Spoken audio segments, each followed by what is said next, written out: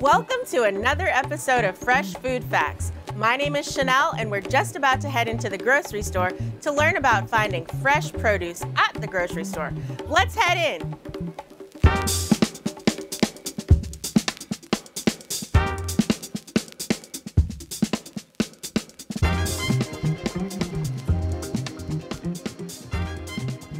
The middle of the winter months when you can't shop at local farmers markets or farm stands for the freshest produce, you can still choose the freshest produce available. But we're not going to start where you may think. We're in the frozen section of the local supermarket. Why are we here?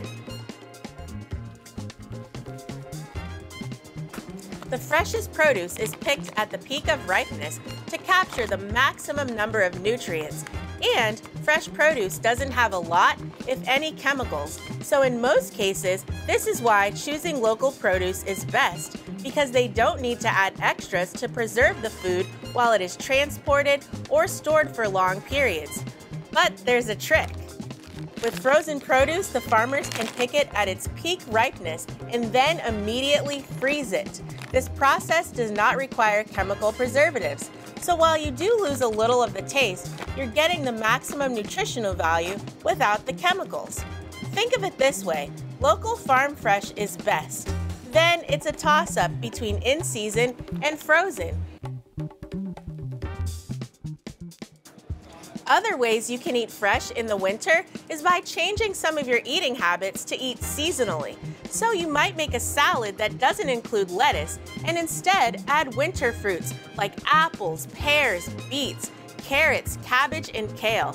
Add some oil and vinegar with nuts, cheese, and dried fruit, and you have an amazing and tasty dish. For more information, check out our Fresh Food Facts episode on seasonal eating. Other great foods that are in season during the winter include turnips, parsnips, carrots, and rutabagas. If you aren't really sure what a rutabaga is, let alone how to cook one, head over to eriefarmersmarkets.org where we have lots of delicious, budget-friendly recipes for in-season foods all year long. Thanks for joining us. We hope to see you again soon for another Fresh Food Fact. Until then, remember to eat fresh.